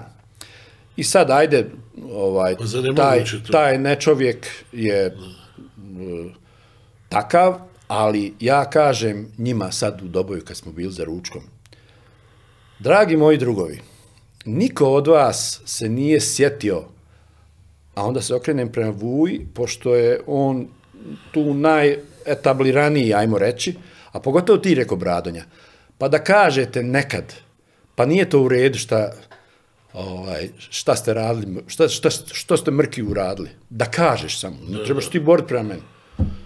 Čovječe, stan koji sam ja, uh, ostao, znači ugovor je bio četiri godine i treću godinu mene Barcelona zove, poslije tog finala u Madridu. Milan Kalina je njihov, ovaj, tad bio scout za nas i meni kaže, Mrki, evo, oni šalju ček da ti ispuniš, oni hoće tebe. I sad ja, mi smo prvaci Evrope, stvarno, živimo u Šapcu ko kraljevi. Da futbaleri Crvene zvijezde su kukali kako metaloplastika ima premije, yes. a onaj generalni Cvetković im kaže, pa kad budete vi pobeđivali ko oni, imaćete i vi. ovaj, frajer je otkačio. Hoću reći, nije mi tad trebalo. Uh, I ja opet odem, ajde reda radi kod predsjednika. Kažem, predsjedniče, ja imam poziv iz Barcelone. Ma šta ćeš, kaže, evo, idemo na još jednu titulu da osvojimo. Je li moguće? I jesmo znači, osvojili mi još jednu, ali... Barcelona nije mogla igrati uh, s parama u tom trenutku, nije vas mogla... Ma nisam, eto ja... Niste imali interes Vidi, idete tamo. nisam ja to tako razmišljao. Nije, znači... Kažem tako smo dobro mi živjeli da, da men to uopće nije bilo sad da sam ja stavio ne znam koliko. Ajme malo objasnite, samo vraćamo se na taj stan, mislim da je to jedna velika sramota u svakom slučaju, još ga niste vratili nazad. Ma ne. Imaju neke ne. šanse da pa, se to Ja sam angažovao advokata i ljudi su mi prijatelji da. dali svog advokata iz Srbije. Evo kaže, čovjek mi je izganjao 20 godina se vodi slučaj neki i on mi ga, evo ti ga kaže, ako napravi nešto, ti ga počasti. Da, da, da. Ako ne, i, čovjek, i kaže on meni, Jasmine, po tadašnjem zakonu oni su uradili. E sad, etički, ali kaže, zakon ne poznaje etiku. To što je, što je ušao ovaj, drug. taj tvoj drug u stan, pun kao šipak, što je njegova supruga uh, oblačila kostime moje supruge. I to? Uh, firmirane, naravno, gdje smo mi u Italiji da, živjeli. Da, da. Znači, uh, sve, eto, ovaj, ne znam, ne znam, eto. I onda je meni jednog momenta, uh, tako, već na jednoj proslavi, kad smo tri, slavili 30 godina od Evrijevske tutile, već sam ja tad njima rekao, pa kako niko od vas ne može da, A oni su isto, ja ne znam šta je s njima. Oni, oni imaju te svoje nacionalne penzije, ni to ne mogu dobiti, naravno, nacionalnu penziju, gdje je sad ona 2000 eura i nešto. Svi oni uživi. Kad meni, ja kad njima kažem tamo u Srbiji, pa kako ti mrki nemaš? Pa nemam, eto. A on, pošto je bio ovaj, tad i u, i u strukturama rukometnog saveza, on je i tamo bez beli, ovaj, da, da ja ni, ni slučajno to ne mogu dobiti. Pa evo Božu Majkovića konkretno, kad sad spominješ, e, pretprošle godine, ne, prije tri godine sam ja polagao ovaj ispit za master, pa je moj profesor ovaj, iz Beograda, ja, ja sam s Božom jako dobar, Božo je sad predsjednik olimpijskog komiteta, mada nije on čovjek koji to kaže ja ću njega nazvati, ja ću njemu reći ono i čovjek isto se zna, pa kako ti nemaš? Pa nemam eto, nemam, niko, niko nema, nema objašnjenja nekog suvislog zašto ja nemam. A ja znam, zato što sam bosanac, što sam, mada likovi ima neki, kaže, iz Novog Travnika, on je bio uh, Hrvač ili tako nešto, on uredno dobija čovjek ovaj, Da, da, da, da, tu nacionalnu penziju, jer je s Jugoslavijom osvojio to. To je Znači, to i stan. I, I nikad, a klub, pogotovo sad klub, taj, naravno, to, su, to je mlada raja, oni i ne znaju, ali ovi stariji znaju. Hoćete vi da kažete da vas drugačije gledaju, nije to više ona Jasmina Pa ja ne znam, koji osvajaju titule za metaloplastiku od Jasmina Mrkonje Vidi. poslije rata. ja znam kad ja odem u Šabac, Da vas kad mene ljudi svijet vole. vidi, kad mene, kad meni mašu, pa Normalno. mrki je to ti, pa, znači, to ti govori nešto. I mene su stvarno ljudi volili u Šapcu, zbog mog načina igranja, zbog mog eh, poštenog da. načina, bor, borio sam se i tako, i ljudi su me volili stvarno. I čak su ovi neki Šapčani bili ljubomorni, koliko su mene ovi domaći volili, ajmo reći. Ovaj, ali vidiš, to, ta informacija, kako bi ti rekao, pa mene je stid da ja o tome pričam. pokvarila je, znači to Ovaj, je, a mene je zabolilo to što niko eto od njih nije stao zašto koje, druga. koje neko prijatelja. barem godišnje dva, tri put nešto pita u sportu, pa da kaže, znate šta, pa ja kažem, pa to da se u Bosni desilo. Pa to bi, pa, ja bi, ne znam sad. Ali da niko od vas, kaže Cvele, pa ja to nisam ni znao da, da, da ste bili Cvele. Znam. Eto, eto, možda nisi znao, ovaj, evo sad znaš, pa ne znam, ovi su šapčani, znaju. Pa I kao oni njega preziru, ali... Niko ništa Ali- nije, nije, nije uradio. A ja kažem, ne tražim ja da se vi bojite, borite za mene, da vi ovaj, sad eh, pokazujete prema meni, jer možda bi vama tamo bi imali problema. Ali spomenite to, recite, pa igrali smo zajedno, jebote, živjeli smo zajedno, eh, osvajali najbolje, gubili, ne znam, najteže. Pa možeš reći, znaš šta, Mrkiju je ukran, Ukraden stan. Eto. I niko nije ništa rekao. I to mi bilo dovoljno. Nikad Evo, niko ništa. I ja sve, e, sve ovaj, te velikane. sve više se hladim prema njima i ne znam ni da li ću ako bude opet neka a, tipa to 30 godina kad smo prvu titulu osvojili, da li ću uopće ići tamo. Mislim, mi smo sve okej ono, ali mislim, ne mogu to... Ja mislim da vas narod tamo izuzetno voli i da je to 100% tako Pa da je to jest, igra, to igra, jest. igra, igra nekih ljudi koji I nisu oni su to časni. kao po zakonu, ovi meni advokat kao to je kad je po zakonu tako tad, tad, jer smo mi tad imali stanove na korištenje. Da. Dobili od Sofke i to imaju, to su namjenski stanovi. Jasno, znači koji ovdje isto. ovaj, i ono, plaćaš stanarinu mjesečno. Ali zašto ne možete Bio- vi dobiti, vi ste, o, vi ste bili o, o, 80. znači na olimpijskim igrama, nacionalna penzija, Ja sam svjetski prvak Svjetski 86. prvak, I nas 86. šest iz metaloplastike je dobilo šest stanova. I- Od Sofke grada i to se zna i to. Pa tadašnji, još je bio živ predsjednik taj koji je mene isto volio i poštovo. Mi smo bili jedini kućni prijatelji s njim. Isto, I zbog toga su šapčani šizili. Ovaj. Samo smo mi išli kod njega kući na rođendane njegove žene i na selo, a niko od ovih šap. I on, dok je još bio živ, on je rekao njima, pa ne, ali više nije bio predsjednik, on je već u penziji bio. Pa nemojte to mrki uraditi, nije to čovjek zaslužio. Al džaba, ljudsko prokletstvo, vidiš, malo prije smo govorili, ovaj, u velikim razmjerama, a kamoli, a kamoli ovako oko toga. I tak to mi je, to mi je jedna rana, ovako, baš sam se razočarao, eto. U ljude, u moje Svašta te sam očekivao, saigrače. ovo je čak, ja mislim, ekskluziva da ste prvi put ovo rekli, jer a, Pa, šta ja znam, evo, i ovo, ne znam, razmišljao sam, ali ponijelo me, pa sam, ne volim me, kažem ti, mene je stid, mene stid što su meni ukrali stan. Eto, sad da ja i kukam tu i, ali mislim da sam u pravu, mislim da... boli čovjeka. Pa normalno da boli. Boli, Ja- boli kad vam žvaku ukradu, a ne da vam ukradu Ja sam stan. tog čovjeka vidio na jednom turniru u Gračanici baš I? i on dolazi sa metal... Mi pravimo turnir, ja sam tad još bio u Gračanici. I tad je bio trener Veselin Vuković, a ovaj mu je bio pomoćnik. Međutim, Vuk je tad bio i selektor Srbije i oni su imali neke Pa i nastupe vam i on kaže... I to vam je kolega. I on, Tako je, i, on, kaže, kolega. ovaj, poslaću ti, doće Vladica sa ekipom. Ja sad,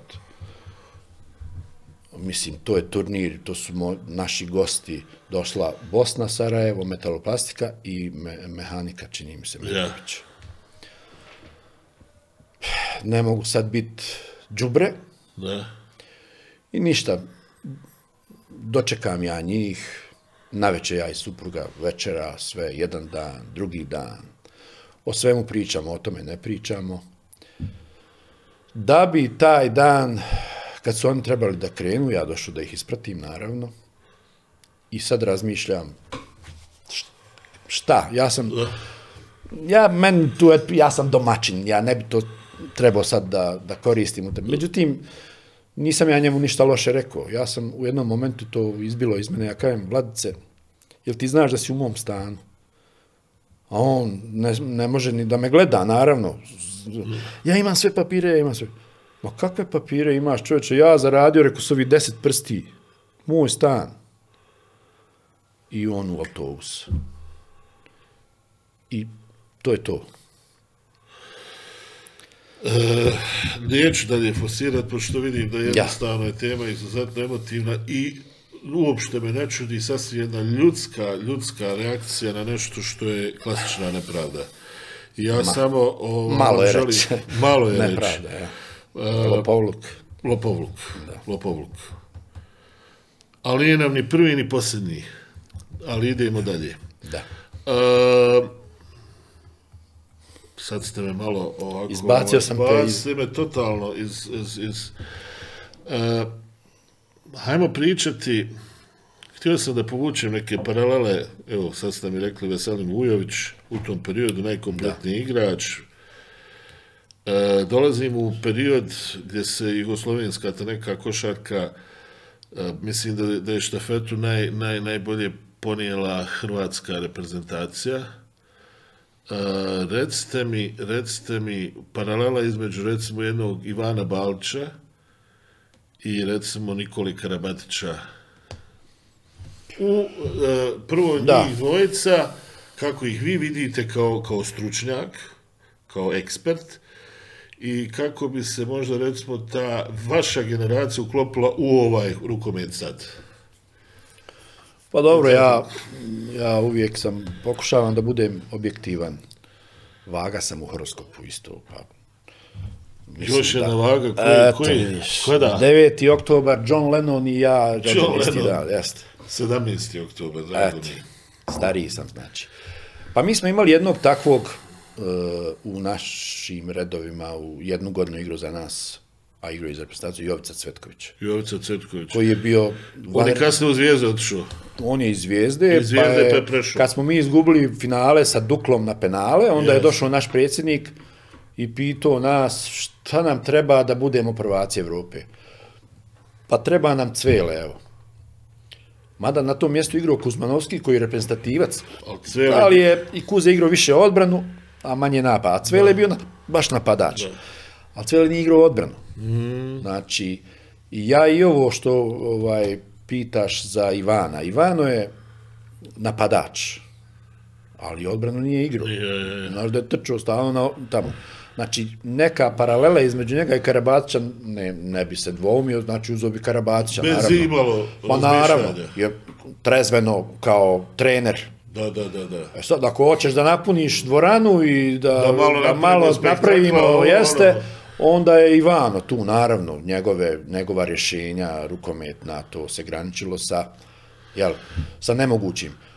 Ali, objektivno ovako, ti kad praviš ekipu, barem, eto, znaš, i u košarci, daj mi tko igra i odbranu i napad. Pa čak jasno. više odbranu da mi igra, jer Jasno. više ima ovih napadača, ali malo ima ovi odbrambeni. Ne trebaju nam mislioci. Ovaj, tako da, da, evo, to je Je, moj je. odgovor. Odlično. Ovaj, i onda i Karabatić je, naravno, a često puta pitaju Karabatić ili Vuja. Ja bi opet za Vuju se odlučio, dobro, možda sam, ajde, imam više uvida, on je, Karabatić je i mlađi, mlađa generacija, ali eto nešto su, tu i Karabatić je vođa i Slično, slično. onako malo je, znači sporiji je puno od Vuje, e, ne, nema tu skok igru koju je Vuja imao. Vuja kad skoči, ima jedna fotografija, ovaj, on je skočio i patika frajeru ovde, njegova, koliko je on gore visoko skok. Pa još ima dva metra, pa još ima ruku metar i nešto, pa to je s četiri metra. Ma klasični. I onako je bio, kažem ti, ovaj, baš, baš nisi mogao da ga ne primijetiš. Da. Uglavnom po dobrim stvarima, ali eto i po budaleštinama. Ovaj, To izgleda ide jedno s drugim i obično ti to, igrači moraju to negdje ventil ovaj, ljudi koji manje poznaju naravno rukomet, pa malo brkaju to Ivano, Ivano, ok, sve, ali on nije igrao odbranu. Da, To da, isto da imaš pola igrača.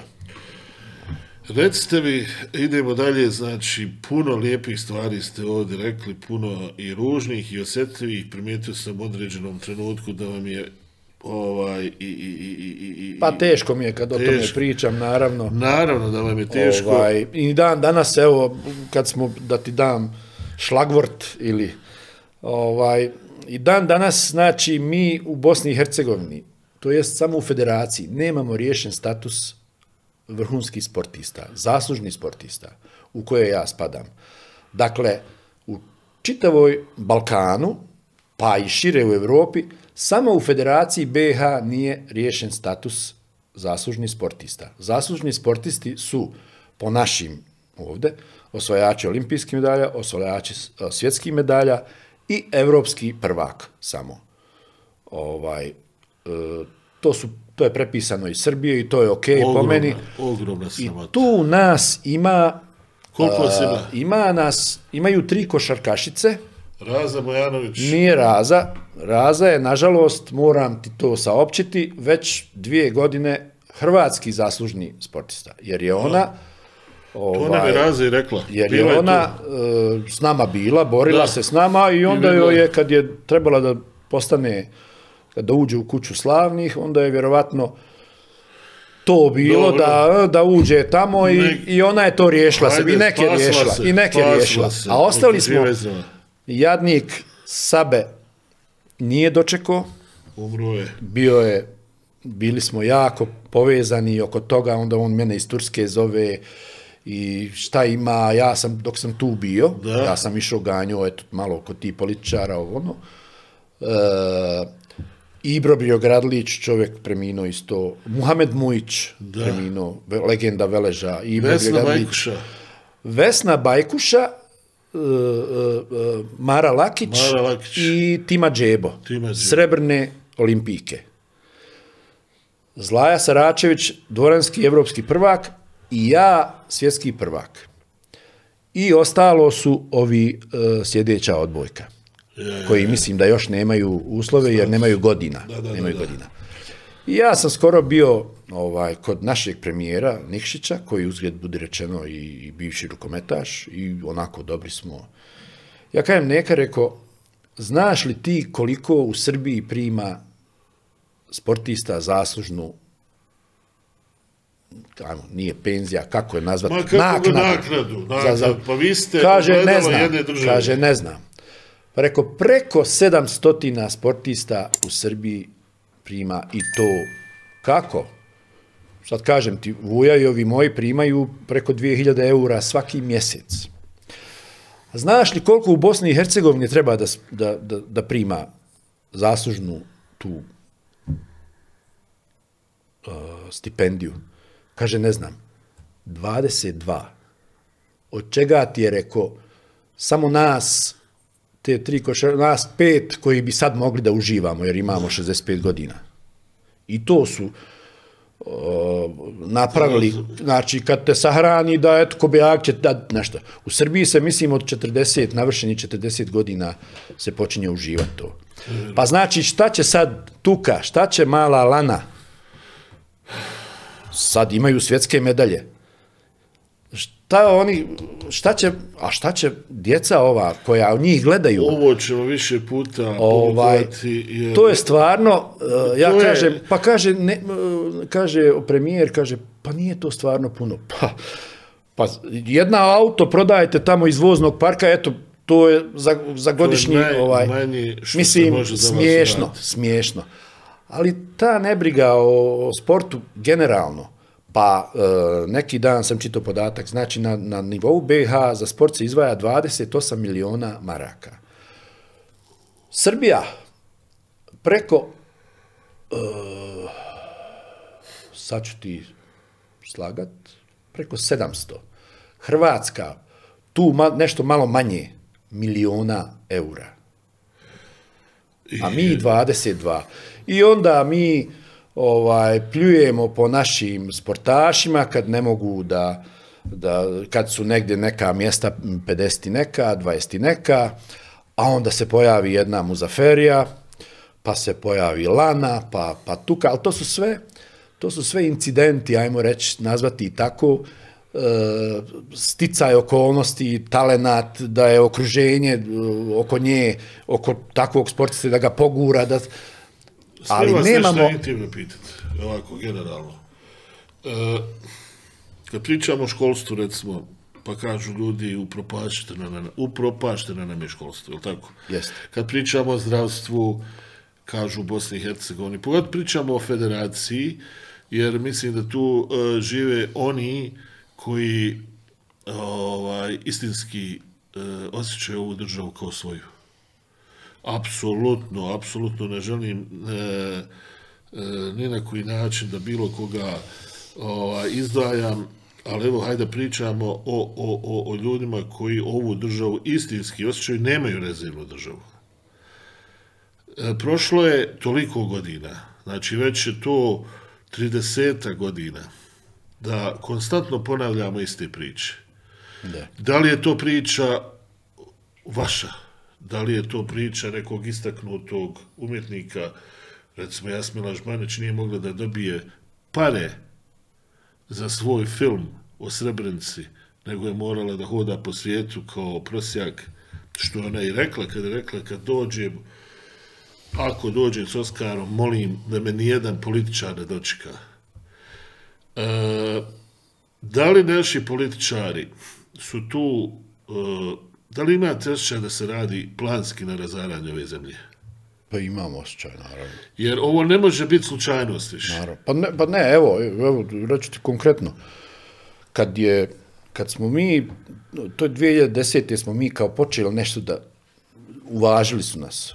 Imali smo negdje če- 400 maraka i tu samo 2010. smo isprimali i onda su počeli da, ovaj, da nas osporavaju. Ali to je bilo uh, na nivou Ministarstva civilnih poslova, znači na državnom nivou. Tada je bio uh, srpski član, ne znam čega, Sredojenović. I on čovjek, nikad, ja sam pokušavao, nikad nas nije htio primiti, nikad nije, i na kraju je, ko što svi znamo, to mislim, da Srbi neće ništa što je na državnom nivou, da su i to razvalili. Znači, to je iz mog iskustva, to je, ja, ja ne govorim za, za ostale, ali znam, evo vidim, znam, moja supruga kad išli su da prave udruženje ljekara dok je tu još radila.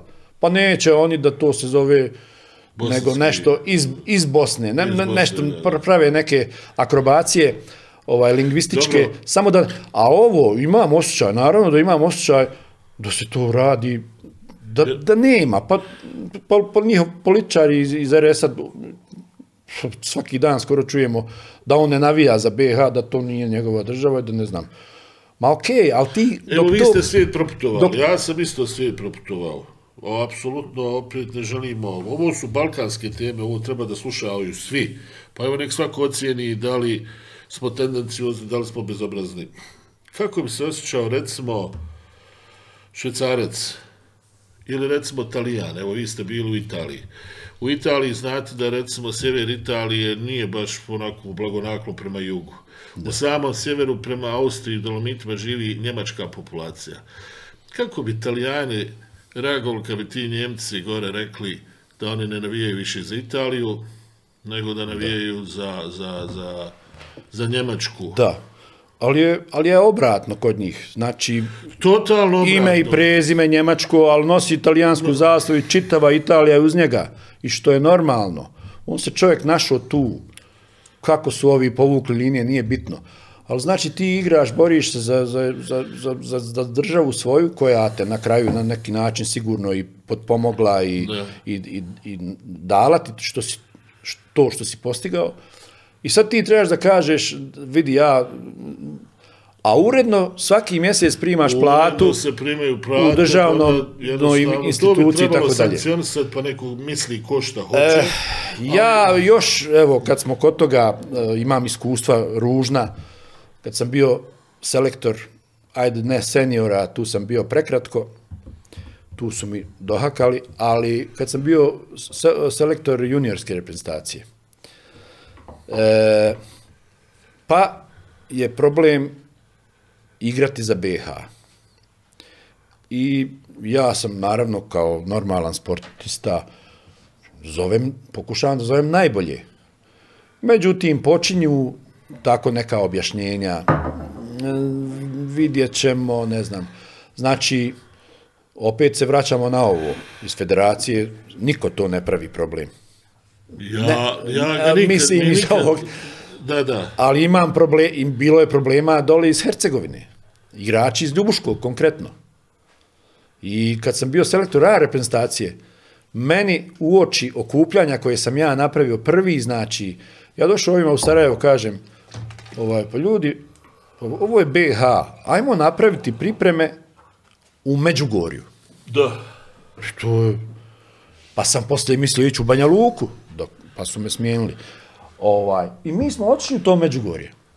Da bi meni došao eh, pred tamo, na, na, pred, znači dobio opremu, sve, Alilović Golman i Denis Buntić, da eto oni neće da nastupaju za, za BH.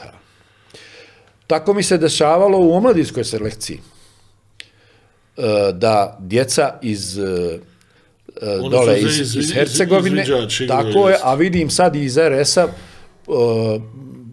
oni, oni ja, ja kad se sretnem s njima u tamo u Srbiji, ja pa, pa vama je normalno da vi dođete u, u, u Bosnu i da izaberete tu djecu, da kažete, ajte vi igrat ćete za Srbiju, a vi da ćete igrati za Hrvatsku. Pa ja sam na turniru jednom, bio je neki, on je iz, baš iz Hrvatske, bio iz, iz upravnog odbora i bili smo na jednoj večeri i ja njemu kažem, čoveče, pa dajte nas, pustite malo bolan da dahnemo.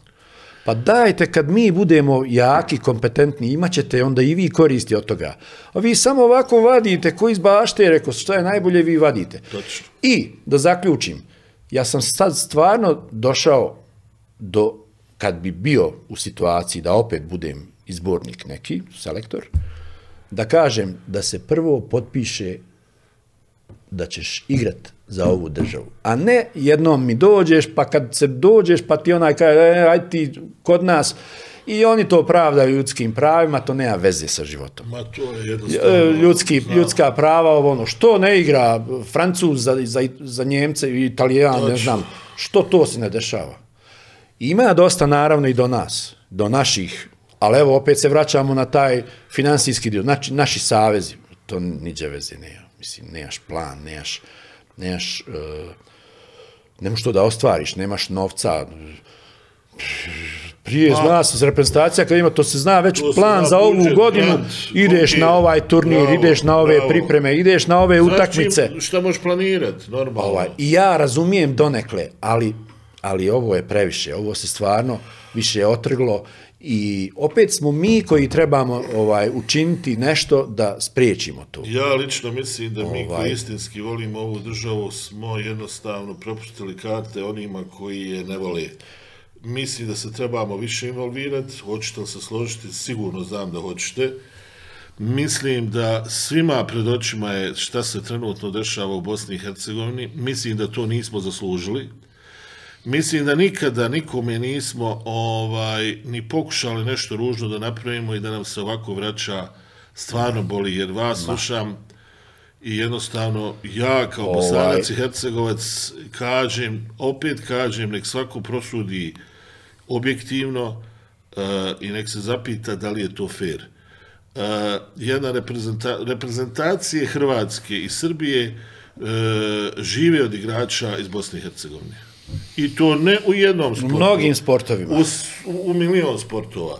Ali to je jednostavno sada, jel, ovaj, takav Pa evo jedan- politika, ne, ne, ne ulazimo, eto, nećemo dalje, ja mislim da se mi trebamo orijentisati na snage gdje mi možemo nešto Mi se uraditi. moramo popraviti što je do nas. Mi moramo spri- Znači, kad smo kod nacionalnih selekcija, da obezbijedimo stvarno uslove sve i onda I da to rade ljudi struke, to morate vi Eh, raditi, sad- ne može tu doći automehančar Pa vidi radi, sada, ja se izvinjavam. pa vidi sada, ja, evo, moja malenkost, mene ko me pozna, on zna da sam ja skroman stvarno. I ne guram se i ne, ali zar je tebi normalno da ja, to je, to čitam često puta ako si čuo za Ranka Božinovića, Da, da. čuvenog igrača Želje i bio je jedno vrijeme reprezentativac, bio sa mnom, sad je u Francuskoj. Kad on kaže, pa kad, kad Mrki nije u nijednoj strukturi rukometnog saveza, pa o čemu mi pričamo? A ne da ja sad nešto ovaj sebe To ne bi znam. bilo kada ste Ali vidi, isključili Zidana ali vidi, iz ja- futbala Francuske. To ja ne ide. poznam, evo, Krečmara si spomenuo, Da. ja poznam tu moju Vrberi, generaciju. ja, ja. Znači, mogu, to je, to je prvi neki kontakt da, na, Kontakt, da uspostaviš kontakte. Ajmo saradnja, ajmo, znači, neko ko je kompetentan o tome da priča. Dolazi iz faha, zna Ali- šta su potrebe, zna kako to, Ali ja prvak. ne mogu biti, ja, mene su jednom ispred ZDO kantona kandidovali u izvršni odbor. Mene. Ovaj, ispred Bošnjaka, mada ja sam se, nemojte me reko tako, ja sam bosanac, i, ali iz federalnog eto dijela. I kad je počelo, ovaj, pa da li će on to moć, pa da li će se on to snać, pa... Ne, se Pa snaći. jok, reko ti ćeš otići zakucat ja, tamo u, u elektroprivredu i, do- ne, i tako mislim neke stvari. Sjajno. I kad sam ja to vidio, ja sam rekao, evo vama, to ja, meni to ne treba, mislim, meni to ne treba. Ako malo ponosa čovjek ima... Ovaj, I tako da sam to prepustio mjestu, nisam nikad bio. Ja- Pa da, je nešto malo ljepše, evo, sve nešto smo krenuli, sve pa nešto, dobro, nešto evo, neke... Prvo mi je Raza ovaj, ispričala u, u skoro pa identičnu priču i ispričala mi je to i za, za, za Hrvatsku nacionalnu penziju. Sve smo mi to prebrali i mogu samo reći velika sramota i, i, i ja se nadam da, da ćemo smoći snage da tu neke stvari promijenimo. Čak i ovaj podcast će ići u tom pravcu da neke stvari malo više protažira u cilju da se neke stvari promijene. Idemo dalje, nećemo više ružnih tema. Ajmo ljepše. Ajmo nešto lijepo. E, meni je izuzetno lijepo je razgovarati s vama. Ovo je fenomenalan razgovor. Ali malo sam te, vidim da sam te Yes, izbacio malo iz sedla pa s ovim ružnim. Svi smo, Ali svi eto, smo time to je baš meni izašlo nešto. Eto. Kako? Ne volim ja to, ni, evo, ni, nisi ni znao. Niti zna naša javnost, niti ja to u novine dajem, niti kažem ti. Ne- nešto, jesmo mi nešto nenormalno rekli? Ma nismo, ovaj, Jesmo, ali, je li sramota, ja opet kažem, da čovjek, svjetski prvak, nije od ove države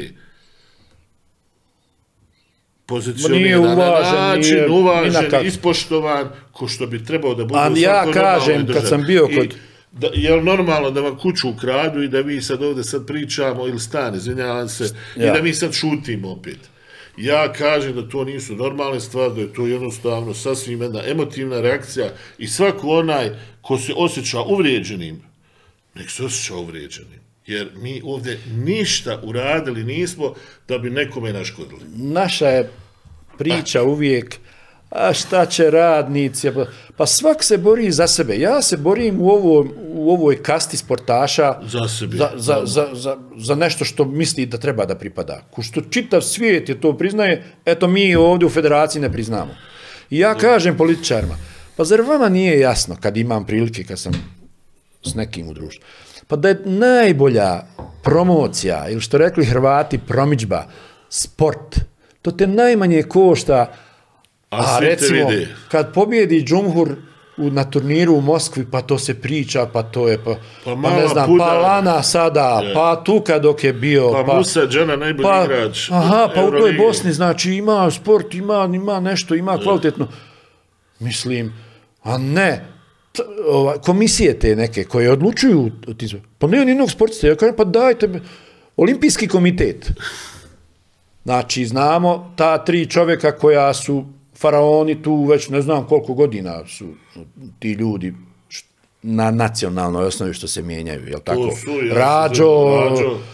profesor Rađo, pa ovaj dole iz Mostara, bivši futbaler, jel? E, sad nemam ovdje podatke. Ma dobro. Kvesić. jel? Kvesić, a, Kvesić, je, Da, je, je. i ne znam ko je ispred RS-a. Znači, ta tri čovjeka. Ni, ja sam bio pozvan jednom kad je bilo neko otvaranje neke olimpijade, ali tad smo svi bili. Ali da uzmeš učešće da nešto kao olimpijac, kao svjetski prvak, da nešto, da budeš dio toga. Ja tamo, i ja jednom uđem tamo, uđem. prepoznao sam onoga Ja, ja, ja, strelca. strelca, Da. kako se on zvao, Zna. bio je P6 na olimpijadi, ovaj, njega sam, i da li sam još nekoga prepoznao, od tih u tom nekom bordu, u tom nešto. I to je to. Ma daj, mislim. I onda mi je drago da nisam u takvom društvu. Ovaj, Ok. Trenutno ste opet u inostranstvu, znači opet trenutno ste, sam jest u Osijeku i radim u ženskom rukometnom klubu Osijek. E, Tri godine sam vodio prvu ekipu, sad vodim jednu mladu ekipu, e, supruga je tamo, tako da sad u ovim nekim godinama više nam ne, ja pretpostavljam i siguran sam ne bi nam bilo zadovoljstvo da sad ja idem da ganjam pare negdje i da sad smo zajedno, blizu nam je ovaj, dva igrate, i po sata. igrate golfa, čuo sam. E, sad sam znači, postao, da, o, pasionirani zamolili su me ovi iz, iz golf kluba da, da to spomenem, pa evo, ovaj, pošto sam, u zadnje vrijeme imam problem s koljenom, igrao sam tenis, meni je tenis bio drugi sport, igrao sam ga dugo i dobro, bio sam ono, Da, da. dobar rekreativac, eh, o, veteran, i onda me koljeno pođi sad, i onda mi ovaj golf došao ko kec na 11. Ovaj, baš da u Zavidoviću jedan od tri golf terena, golf, golf kluba je jedan je u Zavidoviću. Ima u Zavidoviću, u Sarajevu i u Posušju. To su tri ovaj, terena golf koja... I to je jako sređen uh, i objekat, i klub, uh, ima negdje preko 120 članova, uh, ima juniorska ekipa, imamo prvaka BH juniorskog, uh, mislim, onako, ali ja sam se našao tu, ovaj, kako bi ti rekao, e, kao bivši vrhunski sportista, e, to okruženje tih ljudi, znači to su sve uglavnom realizovani ljudi, dolaze tu neko iz rekreacije, neko trenira, voli. Ja isto koristim svaki trenutak da odem gore. To je prvo na nadmorskoj visini, znači vazduh, da, da, da. fantazija. Drugo okruženje je fenomenalno, znači ovaj, bio je, bio je, evo opet ću se vratiti na njega, naš ovaj, premijer Nikšić je bio u nekoj posjeti pa smo išli gore na ručak. I sad priča on ovim su, kaže, idemo mi, kaže, kroz šumu, kaže, šuma, kad dođe smo tamo, kaže, isto u Ameriku da smo došli. Raj na zemlji. A stvarno ljudi su, to su tri braća Mujanovići, Da. poznati u Zavidoviću, Da, da, da. e, poduzetnici, jedan je baš ima, kupio je tada u privatizaciji tu fabriku montažnih kuća i ona Radi fantastično radi. Jedan je e, hotelijer i pravi stanove, a jedan ima fabriku za... Eto, to se pot- potrefilo se da kažem da oni mogu to i finansijski. Oni su prvo tu zemlju kupili zbog druge namjene. Onda su sreli Jasmina Selmanagića iz Sarajeva i, on je rekao, "Ma šta ćeš ti tamo uzgajati, ne da, aj ti, Tamo golf." aj ti golf. Kaže, gdje ću ja golf, kada nikad nisam, ma ja ću tebi sve... I to je, prvo je bilo Evo. šest rupa, sad je devet rupa, sad je objekat, sad su, mislim, Eto, koristim fenomenalno. priliku da sve I ja golfa- vas pozivam, evo, ovaj, kad imate, zaista imamo tamo sad ljudi, to bude otkrovenje za ljudi. Da li, onda Zavleć kad spomeneš, To je uvijek mora- asocijacija na, na radnike koji nemaju posla, na, na jednu uh, siro- doći siromašnu opštinu, je ali, ali to je stvarno... Ajde, ovaj, se pa evo, nešto da snimimo Imate da poziv vidimo. i, i sigurno će i, i, i ovim ostalim članovima i rukovodstvu biti jako Sa drago. velikim, velikim zadovoljstvom. Sa velikim Da zadovoljstvom. vidite šta, čudo jedno. E, to nešto Ovaj, lijepo, rekao smo, uspjeli smo nešto jest, lijepo da jest, kažemo. Ovaj, šta reći sad na kraju? Šta reći na kraju? Ima li išta što vam leži na srcu? Da Pa dobro, evo, smo ovo, si, ovo smo došli, izvu, ili si mi izvukao iz mene ovo što mi je ležalo na srcu, Morao sam. ali ajmo reći, ajmo nešto sam. lijepo za Ajmo kraj. lijepo. Evo ja ću iskoristiti ovu priliku da kažem da sam osnivač i voditelj rukometnog handba, uh, handba, kampa, Handbal, ok. Handbal Talent Camp. HTC skraćeno. Već 13. godinu ove godine će biti 13 godina kako organizujem taj kamp na planini Vlašić u hotelu Sunce i to sam, kad sam završio svoju neku igračku karijeru, eh, daj da nešto, da nešto Konstruktivno da nešto pozitivno napravim. uradimo, da. I onda sam onako, prvo sam mislio da li će, da li će to ljudi imati para da to plate, da, pa smo krenuli skromno onako, ovaj, da bi to sada preraslo u jedan međunarodni kamp gdje djeca dolaze, znači, od Skandinavije do Crne Gore, iz Bjelorusije, ne znam, iz Francuske, iz Njemačke, prostora Pa to je bivše Jugoslavije. to je, to je znači. preraslo, tako je u jednu ovaj fenomenalnu priču.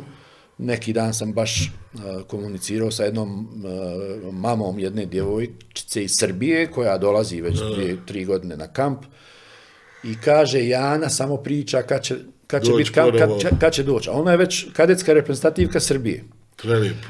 I to su neke stvari ovaj baš lijepe.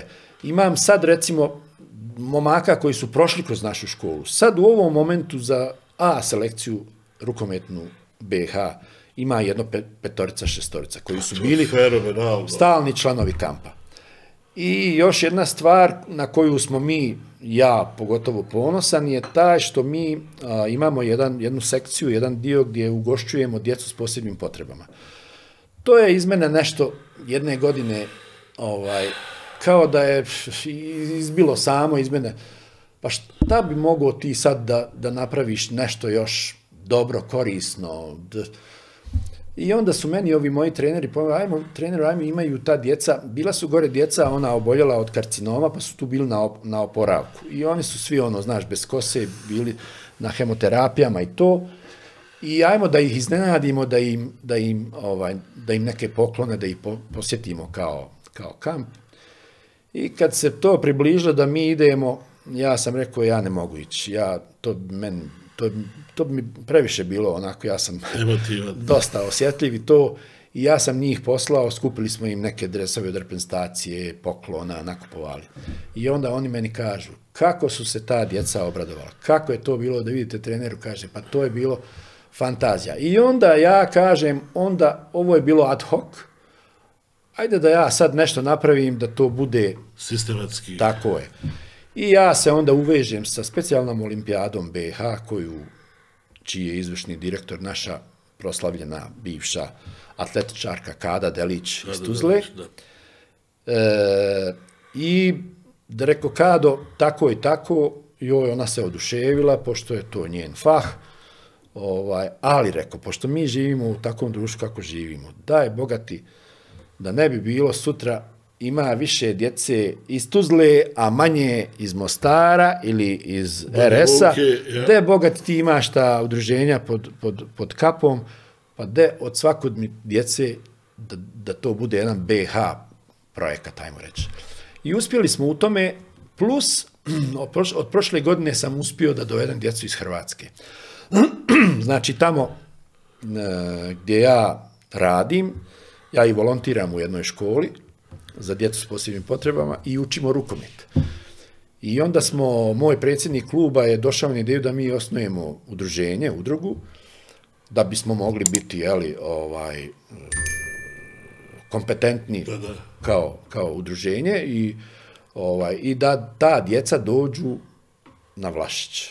da, da, da gore da vjer, mi, ja njima osmislim uz naravno ovaj, pomoć njihovih e, terapeuta, osmislimo im program. Uglavnom oni treniraju rukomet, elemente rukometa, to ja radim s njima dok smo. A ovdje gore malo proširimo, pošto imamo, pošto je hotel stvarno ovaj, lijep, hotel Sunce, on ima bazen, pa im organizujemo kupanja, pa šetnje kroz šumu, pa jahanje na konjima, To terapeutsko. I to njima ostane i ja prošle godine, oni su malo, malo iz Hrvatske su došli pa su malo onako i oprezni, ja? ali kad, su, kad smo na kraju to završili, to je toliko ovaj, kad se rastaju sad, pa se oni zbliže, sad ti, kako ja zovem, takmičari i ovi, mi živimo zajedno. Jedna ekipa. Znači, mi, oni dobiju opremu da, kao da. ovi takmičari, ma sve, hranimo se u hotelu, su sve su s nama, sve. I onda oni se druže i povežu se. I kad to treba da se rastajemo, kad to počnu plakat, i jedni i drugi. A vidi, to je korisno i za ove takmičare, tu imaš djece koji nikad nisu bila u, u, nekom bliskom kontaktu sa djetetom koji ima Downov sindrom, recimo. I on ima otpor, ima, ko, ko zna da, kako, da, ima da, mišljenje. Međutim, on tu spozna, onda mi isto razgovaramo dosta. Ja njima kažem, vidite djeco, ovo su djeca koja su imala malo manje sreće nego vi. Vidite, reko, koliki ste, vidite kakvi ste. Oni su imali, imali malo, malo sreće, ali to su naši drugovi, to su naše drugari, ima i curica, i hoću da imamo jedan lijep zaštitnički odnos prema njima, da im budemo na usluzi, da budemo porodica jedna. I na mom kampu se može pričati samo o rukometu i zezanje. Bravo. Znači, politika nikad. E, psovke, ja sam možda u 13 godina imao jednu psovku koju sam ja čuo i ja sam nazvao odmah roditelja i roditelj je rekao šta god hoćeš uradi s njega, evo ja ti dajem odriješene ruke, ma daj rekao, ovaj, ali hoću ti reći, mi kreiramo stvarno gore jednu, i, i svi roditelji kad dođu, pa prođe to, pa mi šalju mailove poslije, kaže, to je tako ko da smo u nekoj porodici bili, a to jest, i ti djecu ne možeš prevariti, ljudi, kako ljudi griješe, misle, on je malo, ne znam ništa, pa ono malo dijete, kad te pogleda u oči, i sad ti ako izneveriš njegovo povjerenje, ti završio si. Bravo. I sad ja ne bi mogao ovoliko da ja nemam to, taj odnos s njima. Moji treneri koji su sve ozbiljni ljudi, porodični ljudi, znači već znaju kako da se ponašaju, šta da rade, kako da im napravimo da im bude. Mi njih iscijedimo. Ja imam jedan ovako interesantan e, video e, ja na kamp dovodim razne, osim trenera, dovodim, dovodim i razne stručnjake, recimo profesor Muris Đug, koji je i kondicioni trener reprezentacije, pa nam on održio predavanje, uvijek nađemo neku temu. Prošle godine je bilo, ajmo, ajmo, sad oni su tu u pubertetu i oni su sad, oni idu u teretanu. Ajde, profesor, nam reci, da li oni mogu ići, kad mogu ići i šta mogu raditi. I onda on nama održi jedno predavanje i sad na tom predavanju bio je trening jedan, pa je bio trening drugi. I već, su, već je pred kraj tog kampa, već su oni umorni. I joj, vidiš ti. I, I ja samo jednog po jednog snimam. I napravio sam jedan klip, predivan, možda ću naći, pa da ti, poš, da, da ti pošaljem.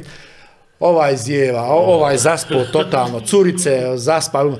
I sad sam ja to prokomentarisao, rekao, na našem ovaj kampu, osim što se učimo ovaj, kako se, kako vježbati, jako radimo teško i evo naš dokaza. Oni ima i nekog bravo, zaspalo, bravo, znaš. Bravo. Onda dovodim tu suce poznate, da malo o pravilima pričaju, o ponašanju, delegate. Pa radite znaju, edukaciju jednu kompletnu. Tako je. Fenomenalno. Tako je. Ova, eto, to mi je, to mi, to mi je ovako nešto što sam, što mi je, što kaže, ležalo na srcu, a nismo pričali o tome, to mi je baš onako, s tim se ponosim, eto, ajmo reći. Ja moram iskreno nešto da kažem. Znači, odavno, odavno nisam sreo nekoga sa toliko dobre energije ko što ste vi. Neko zbog poživi, želim vam svako... Još kad upoznate moju suprugu. Ako Bog da. Vidjet ćete šta je da. pozitivna energija. Ja vam samo od srca želim sve, sve, sve najbolje u prvo puno zdravlja, to je ključna stvar, a onda puno uspjeha u svim vašim nakanama i poslovima, da. jer e, vi to zaslužujete. Ma, nemam ja sad nekih planova, nek ide ovo ovako i zaista sam se našao u toj ulozi da prenosim iskustvo i znanje mladima, uživam u tome i mislim da, da sam našao neki zajednički jezik s njima. E, znači, e, moraš e, se postaviti tako da te cijene, a opet da nisi mu neki autoritet da on od tebe strahuje. Da, da. Znači, moraš tu, tu granicu moraš znati.